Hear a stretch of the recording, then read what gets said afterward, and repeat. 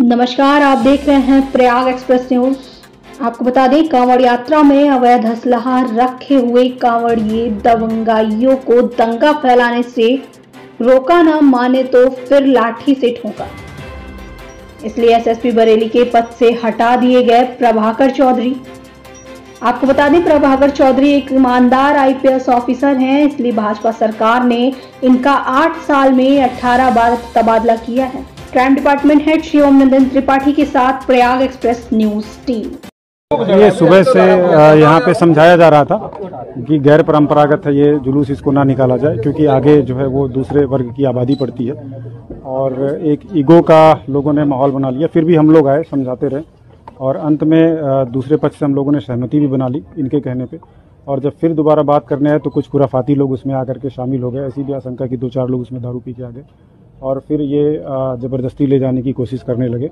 और ये लगा कि इससे शांति भंग हो सकती है। और ये गैर परंपरागत तरीके से अगर निकलेगा तो फिर आगे के लिए भी और भी समस्याएँ आएँगी। काफ़ी समझाया गया लगभग चार घंटे लोग नहीं माने। उसके बाद फिर ये एग्रेसिव होने लगे। पीछे डीजे करके बहुत ही अभद्रता और सारी चीज़ें करना शुरू कर दिए।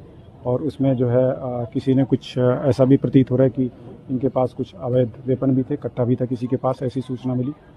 उसके बाद ये निर्णय लिया गया और इन पर हल्का बल प्रयोग करके भीड़ को डिस्पर्स कर दिया गया। हम इसमें कठोर धाराओं में मुकदमा लिख रहे हैं कि गैर परंपरागत तरीके से माहौल को ख़राब करने के लिए इस तरह का प्रयास किया गया है। अभी सारे जगहों पर शांति है, हमारी पुलिस जो है वो पेट्रोलिंग कर रही है और जो भी लोग इसमें हैं, जो लोग इस तरह का प्रयास किए सारे लोगों के सीसीटीवी फुटेज और वीडियोज़ हमारे पास हैं कैमरे लगे हुए हैं।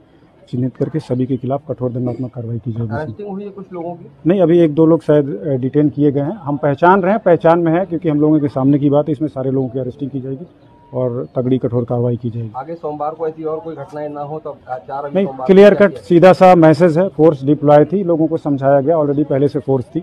हमारा मुख्य उद्देश्य है कि आपस में कोई लड़ाई झगड़ा ना होने पाए लेकिन अगर कोई भी ज़बरदस्ती या गैर परंपरागत या जिद करने की कोशिश करेगा तो हम उसको कठोरता से निपटेंगे।